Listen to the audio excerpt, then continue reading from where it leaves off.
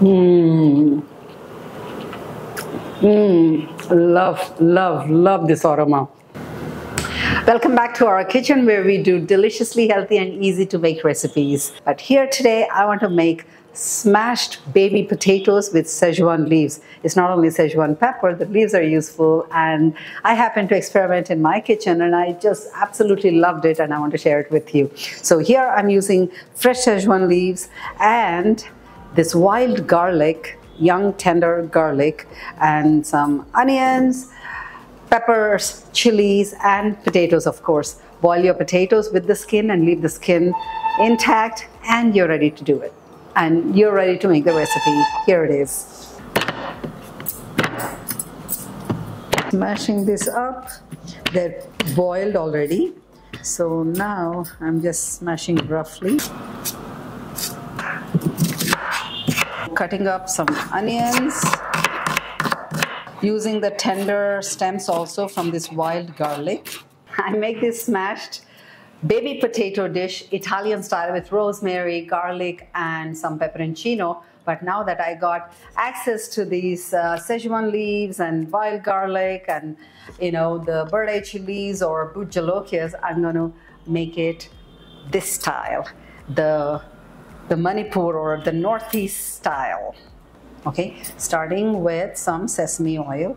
So usually I put it in the oven in a tray nicely all mixed up but for small quantities at home this might be better. Just put so put a little oil garlic onions. Okay. It's a very very simple dish. You can always make it as a side dish or you can cook some legumes on the side and add it at the end and make it into a whole meal. Serve it with some lettuce. It becomes a complete meal. Now I'm going to add some chilies and our favorite ingredient for today tiny Szechuan leaves. I'm just going to roughly chop it up. And some bird eye chilies.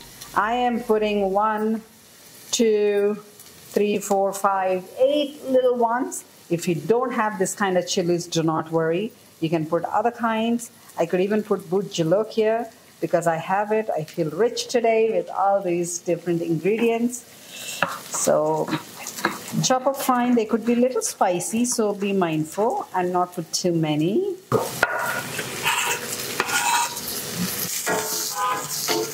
Okay, ooh, the smell is so amazing. So the onions are lightly wilted and it smells amazing.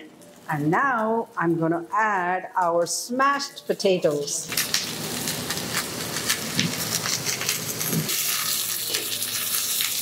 Just nicely, gently coat them.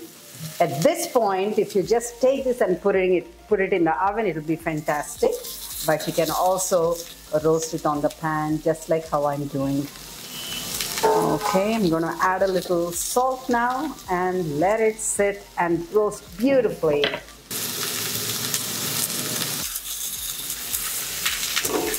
I'm gonna add some more Szechuan leaves because I feel that they can add extra aroma and not be overpowering.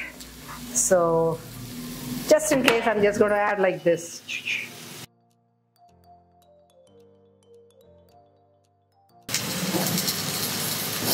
For the daring, you can just pick these chilies and eat.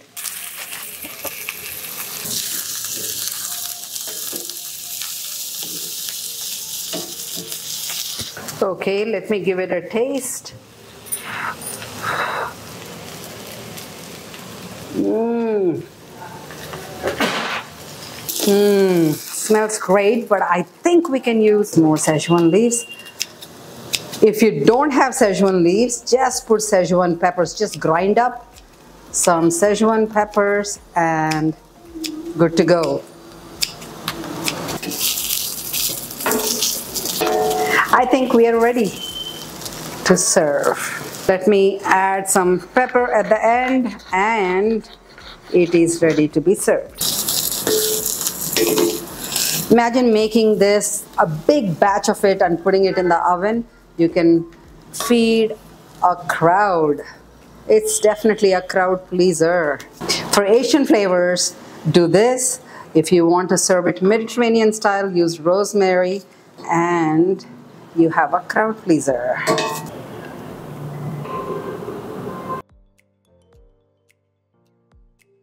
So here we have ah, aromatic smashed baby potatoes. Yes, they're a little fried, but it's much better than the french fries that you get from the shops and it's not deep fried and to please the crowd especially the youngsters we need to do things like this sometimes Mmm. Mmm. Love, love, love this aroma. Mmm. Make this guys in your version and enjoy.